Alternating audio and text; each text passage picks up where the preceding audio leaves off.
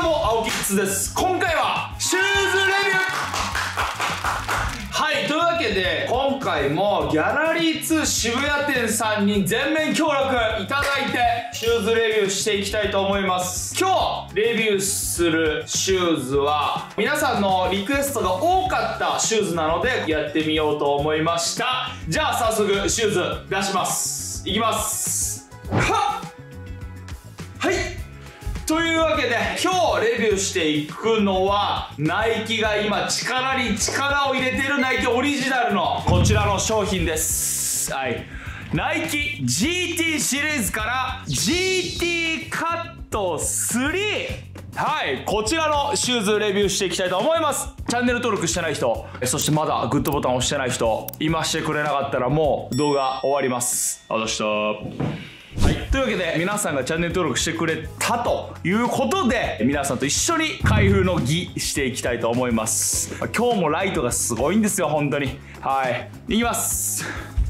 ララララララジャララおう。いきます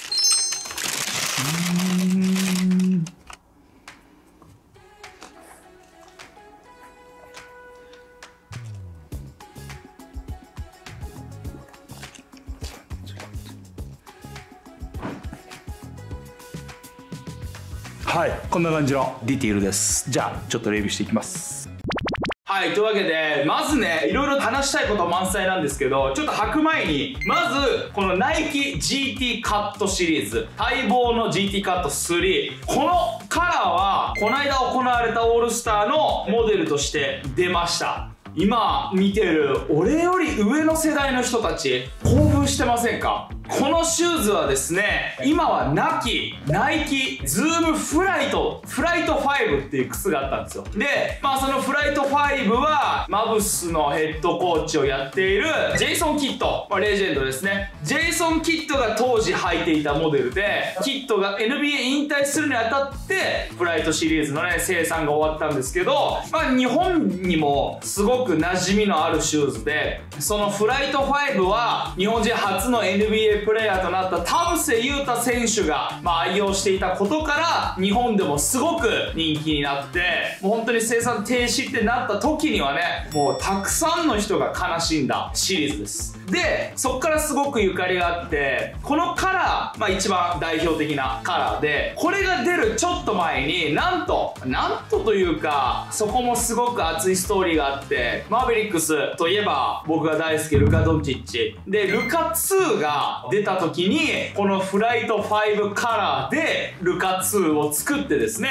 ヘッドコーチであるジェイソン・キッドに向けたリスペクトとキッド自身に実際にこのカラーをモチーフとしたルカ2をヘッドコーチにプレゼントしてお互いリスペクトというか関係を深めたっていうエピソードがあって、まあ、その後にねこのオールスターカラーが出てきてギャラリー2のオンラインでは完売となってるんですけど、まあ、店頭に行けばもしかしたらあるかもしれないのでぜひギャラリー2渋谷店チェックしてみてくださいはいというわけでちょっと早速履いていきたいと思いますこれはもうねおじさんたち世代30代の人からするとやばいよこのカラーはっていうようなもう GT カットがどうこうとかじゃなくてこのカラーだから買おうっていう人がたくさんいたと思います価格はですねこのオールスターカラーが2万9700円。税込みで。普通の GT カットシリーズこのカラーだけじゃなくて黒があったりとか別のカラーは2万8600円で。ちょっとオールスターのモデルはね高くなってます、はい。まあ記念なのでそこの1000円っていうのは本当誤差。そして今日僕が着てるウェアは分かりますか？こちらです。はいごめんね。ちょっと履くまで長くて。これはウォーリアーズのドレイモンドグリーンのユニフォームを着てるんですけどこれ GT カット3誰がプロモーションしてるか知ってますか？実はまあナイキがねワシントン・ウィザーズのジョーダン・プールを GT カット3では履いてもらう選手というかプロモーション選手として使いました。ただ今ちょっとプールはねウォリアーズの時代で活躍してたプールの面影はちょっとね今消え去ってるので何とも言えないところでもあると思うんですけどプールのね商品が移籍したのでなかったのでプールがないんだったらじゃあねあのあのエピソードがある、はい、ドレイモンドのウェアということで、はい、ドレイモンド来てます。ここまでね俺が話すまでにうわジョーダンプールやってるからドレイモンドやってなってる選手がいたら会いたいです。友達になれそうな気がします。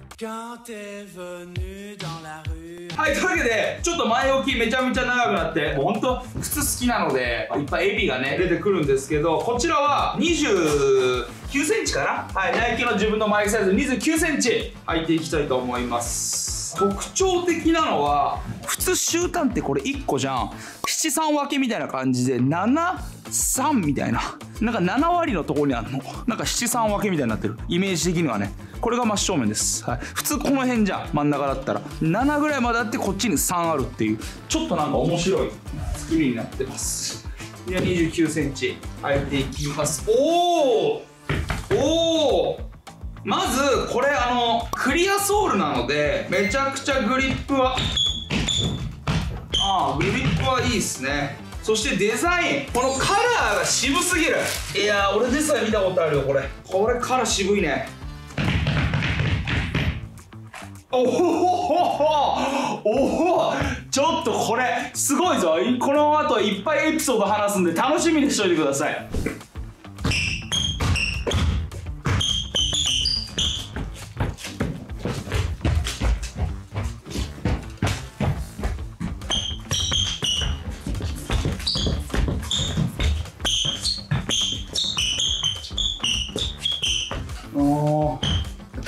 なるほどね。はいはいはいはいはい。はい。というわけでこの靴についての機能について触れていくんですけど、まあ、間違えないようにちょっとねあの携帯見ながらいくんですけどまずこのシューズはナイキバスケットボール史上初めてフルレングスのフルレングスっていうのは全面簡単に言うとまあ、いろんなね専門言葉が各社であるわけですよ。いろいろ。ブーストとかなんちゃらフォームとかライトストライクとかズームエアーとかニトロとかいっぱいあるんですけどナイキでいうフルレングスはここのね全面はい、って覚えてくれればいいです。でこのシューズはナイキが史上バスケットボールで初めてズーム X フォームっていうクッションの名前ですね。でこれは何かっていうとよくランニングシューズで使われるようなクッションです。逆に今までランニングシューズがメインで使われてきてバッシュには搭載されてなかったクッションでナイキのバッシュで言うとやっぱ一番みんな知ってるのはズームエア。四角いようなパックがあって。でそれが前後ろについてたりとか前だけについてたりとか。そのエアが潰れたとかまあそういうのがまあ一般的なんですけどこのズーム X フォームっていうのはみんなさナイキの厚底の乱視見たことない。よく駅伝とかで走ってるやつ。まあこれもねすごく特徴的なんですけどかかとがこうちょっと出てるの。はい。これはちょっとバッシュっぽくなってこういう丸いね形になってるんですけど乱臭とかだったらもうここが何て言えばいいんだろうな。ひし形みたいな。だから杏仁豆腐みたいな。中華料理屋で出てくる三角の杏仁豆腐みたいなやつあるじゃないですか。まんまそれです。なんで全部ここゴム。ゴムゴムゴムここゴム。はい。まあ、それが搭載されてると。一面にねこの中も中もっていうかこここここここ初めてフルレングス一面のそのクッションが搭載されてます。なので本当に走りやすい。だって乱臭だもんクッションが。分かりやすく言うとエアがなんちゃらとかそういうのじゃなくて乱臭です一番簡単に言ったらただ乱臭だけじゃなくてここアッパーって言うんですけどこのアッパーの部分の強度だったりこういった終端の、えー、足首の保護だったりバッシュに改良してますね。内側もちょっと素材が変わっていたりとか、まあ、ここがちょっとねスウェードのような革になってるんですけどここもすごく高級感があります。はい。なので本当にあの新しいですねクッションもすごく反発性あってキュッキュ系のグリップですしすごく面白いシューズになってます。はい。まあいろいろねちょっと前置きは長くなりましたけど最後採点していきたいと思います。採点なんですけど、まあ、採点はいつも通り5項目。クッション性耐久性軽さサポートグリップ。この5項目各5点満点ずつ。でマックス25点満点で、えー、レビューしていくのでちょっと今本当に真剣に考えるんでちょっと待っててください。はい。というわけでちなみにこれ毎回本当に悩むんですけど今までのシューズこれが難点だよなだったらこうだよなとかいろんなこと考えながら採点した今結果が出たので皆さんに発表していきたいと思います。はい。こちらの GT カット3まずはクッション。4点。はい。クッション性はすごくいいんですけどアディダスのブーストがクッション性もありながら反発性もあるんですよ。なんでそれを比べると確かに柔らかいは柔らかいけどちょっと違う。でもいい。めっちゃいい。だから4点、はい、耐久性。耐久性は4点です。あと1点届かなかったのはこのオールスターカラーに限ってもそうだしこの別のカラーに限ってもそうなんですけど真ん中のここがスウェードで気持ちいい革になってるんですよ。これがやっぱ汗かいたりするとすぐ汚れたりとかここが傷ついてきたりすると思うので4点ですね。なんでまあその耐久性のところはちょっと4点にしました。はい次いきます。次軽さ。軽さはなんと5点。マックスこれすごいよ。超軽い。本当に。ぜひね自分が持ってる靴とかとこれ比べてみてほしい。めちゃくちゃ軽い。これはゲルフープとかもう本当に軽さに特化したようなバッシュに似たぐらいめちゃくちゃ軽いです。はい。本当に。なんで5点です。はい。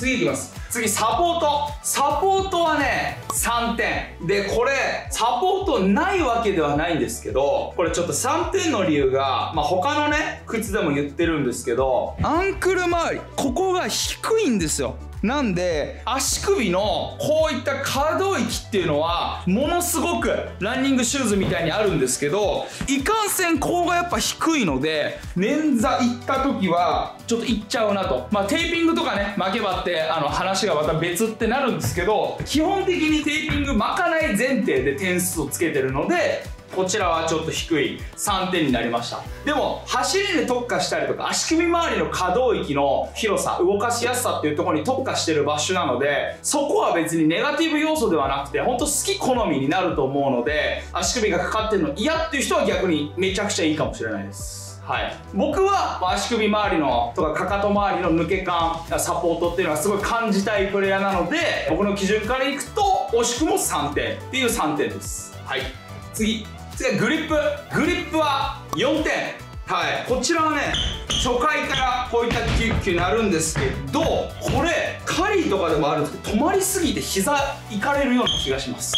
はい、グリップいいんですよ。いいけど、まあ、これはちょっとクリアソールってこともあってホコリをすごく吸収しそう。なんでこれがついてない時はめちゃめちゃキュッキュッキュッキュいって止まりすぎるぐらいいいと思うんだけどクリアソールのやっぱ懸念点としてはホコリをすぐねくっつけてしまうのでそうするとめちゃくちゃ今度滑る。クリアソールあるあるんですよこれは。なのでちょっとグリップのところは5点じゃなくていいからこそホコリを吸着しちゃうっていうところのネガティブ要素だけ取って4点です。はい。というわけでちょっといろいろね長々話しましたけどこちらの GT カット3の合計点数は20点。はい。歴代で言うと2位タイですね。他にもまあサブリナとかレブロンとかアンプレとかまあいろいろありましたけど、まあ、それ並みにこのシューズは履きやすい。ただこれやっぱ3万近くするんで誰もが手に届くようななかなか難しいバッシュになるのかなと思います。やっぱりナイキの新しいクッションズーム X フォームを使ってたりとかナイキオリジナルシリーズシグネチャーではなくてっていうところでナイキもねビジネスなのでまあしかもこのカラーに関しては他のカラーよりちょっと1000円ぐらい高い。はい、3万円でやっと買えるっていうような靴なので項目にねコスパとかはないのでそういったところではまた話は変わってくるんですけどこちらのシューズは個人的にもすごく好みなシューズで25点中20点っていうようなめちゃめちゃ高いシューズになってます。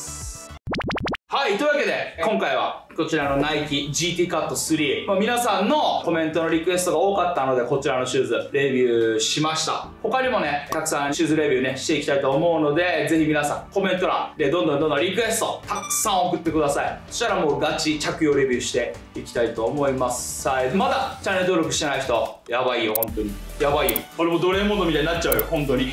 まあそれちょっと冗談ですけど。というわけでまた次回の動画でお会いしましょう。バイバイ